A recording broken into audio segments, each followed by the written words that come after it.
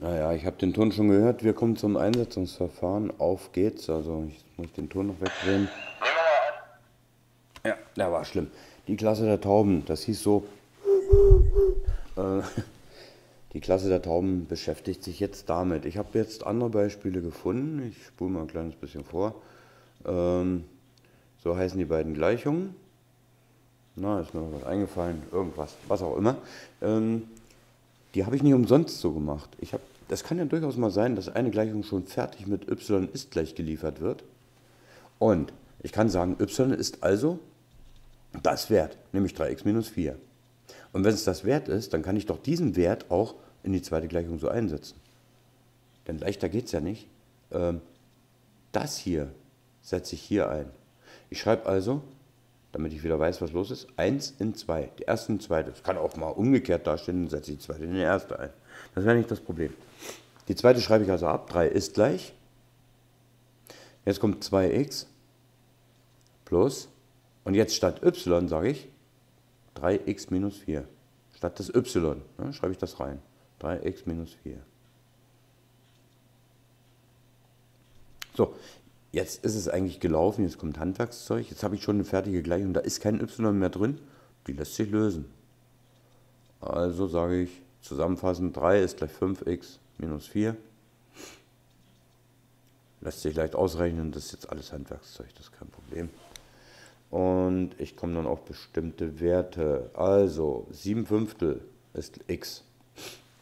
Das y lässt sich so ausrechnen, indem ich jetzt die erste Gleichung schnappe, die ist ja schon y ist gleich, das steht ja schon locker da. Und jetzt statt des 3 mal x statt des x setze ich die 7 Fünftel ein. Das Einsetzen ist nichts Besonderes, minus 4. Jetzt der Rest ist wieder Handwerkszeug, also einfaches pures Rechnen.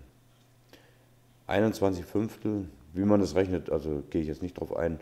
Zum Ablesen, vielleicht wenn ich mal doch was skizzieren will, 0,2 bzw. ein Fünftel oder hier 1,4 bzw.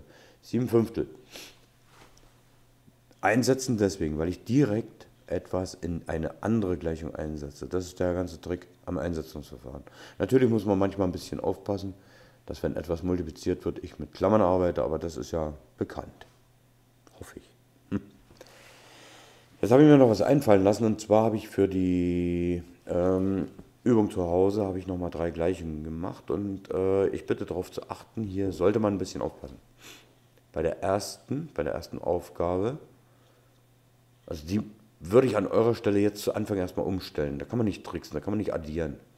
Dann habe ich hier 4x und habe hier bloß noch 3y ist gleich 3. Da habe ich wieder eine Gleichung mit zwei Variablen. Unlösbar, geht nicht. Gleichung mit zwei Variablen kann man so, nur eine einzelne Gleichung mit zwei Variablen kann man nicht lösen. Gleichungssysteme schon. Bei der zweiten,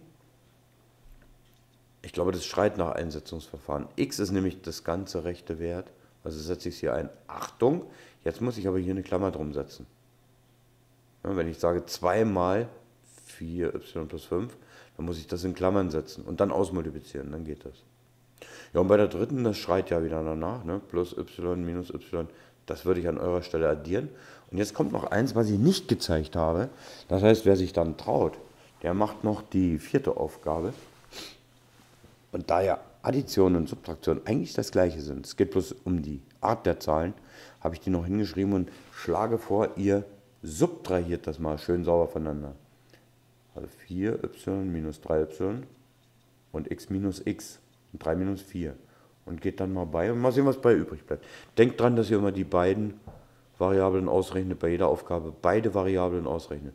Wenn ihr dieses Ding durch die Hand gehen lasst, Mathe muss ja durch die Hand, dann habt ihr es wirklich geschafft, dann ja, dann haben wir die Vorstufe dazu, dass wir dann auch mal mit ein bisschen kniffligeren Dingen arbeiten können.